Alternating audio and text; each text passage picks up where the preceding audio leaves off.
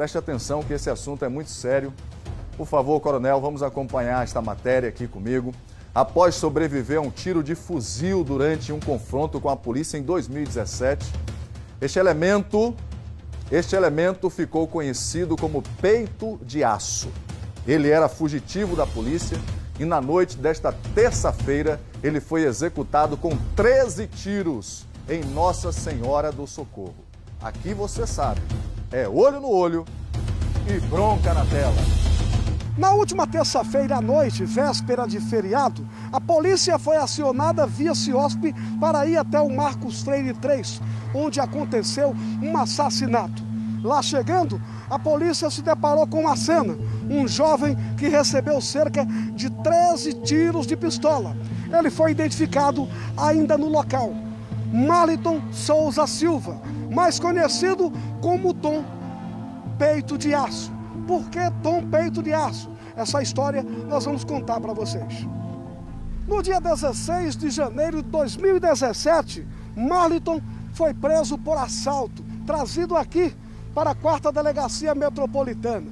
No dia seguinte, dia 17, ele gritava muito no xadrez, dizia que estava passando mal e que precisava ir para o hospital. A encenação foi tanta que ele foi socorrido por um policial e levado para a UPA Fernando Franco, aqui no Conjunto Augusto Franco. Quando chegou aqui na UPA Fernando Franco, Marliton, o Tom Peito de Aço, já não estava mais doente. Ele partiu para cima do policial assim que desceu do carro, tomou a arma do policial, fez o policial refém e daí ele pediu que o policial dirigisse para ele um carro descaracterizado, mas da segurança pública. O policial então foi forçado porque ele estava com a arma apontada para a cabeça aí até o Santa Maria do Santa Maria, ele foi então para o Parque dos Faróis. Mas ele não esperava que no Parque dos Faróis a polícia já estava lá para fazer o cerco. E foi o que aconteceu. Ele bateu de frente com o pessoal do batalhão de choque. Houve troca de tiros. Houve troca de tiros e o Marliton Souza Silva, o Tom Peito de Aço, recebeu um tiro de fuzil.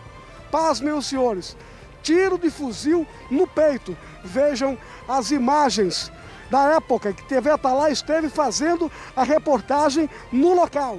Marliton ferido com um tiro de fuzil no peito.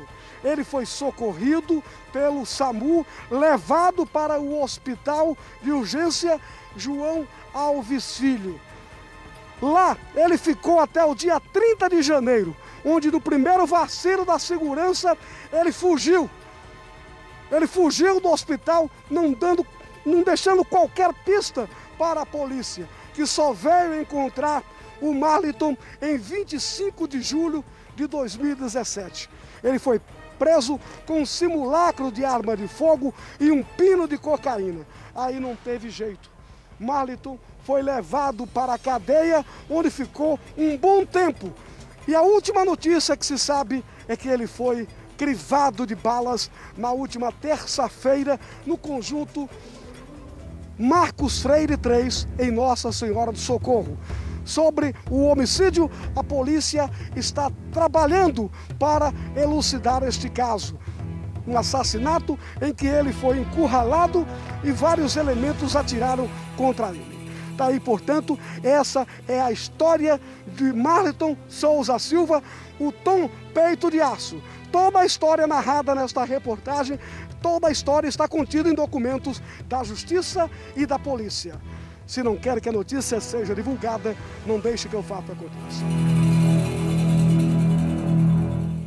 Muito bem, duas horas mais um minuto. Atenção, eu quero chamar o senhor e a senhora agora. O Douglas Magalhães chegou da rua neste momento. Esse elemento aí que você viu a matéria, que ele narrou toda a história, teve a oportunidade de se recuperar, teve a de se regenerar, mas não quis. E acabou morrendo aí. Agora o Douglas Magalhães está aqui no estúdio conosco com o Coronel Maurício Nunes. Douglas acabou de chegar, passou uma informação ao vivo no link e ele recebeu uma nova informação no momento que ele estava entrando na nossa emissora. Por favor, Douglas Magalhães. Exatamente quando cruzava o portão de entrada, a informação de que um dos elementos que participaram daquela execução do Wesley na segunda-feira à tarde na Carlos Bulamarque, no centro de Aracaju, ele foi identificado identificado. Os familiares abordaram os policiais, como eu falei, lá próximo ao velório, entregaram duas pistolas 380 e também o carro utilizado no assassinato. Este homem está se apresentando neste exato momento no DHPP. Com um advogado, ele está se apresentando. De acordo com a polícia, faltam mais dois, que três participaram da execução, Cláudio. Então, a qualquer momento, esse homem vai ser preso? A qualquer momento, ele se entrega à polícia. Ele vai se entregar à polícia, inclusive é, com um advogado, de acordo com. A, o parente prometeu ao policial ontem, no velório, ele vai se entregar. Vamos lá em casa que eu vou entregar o carro e as armas. Duas pistolas 380 e um veículo Gol que foi utilizado. A ficha caiu na mesma hora, porque aquela rua é cheia de câmera, Yunis. É o pessoal da Rádio Patrulha correu, diligenciou, foi muito rápido.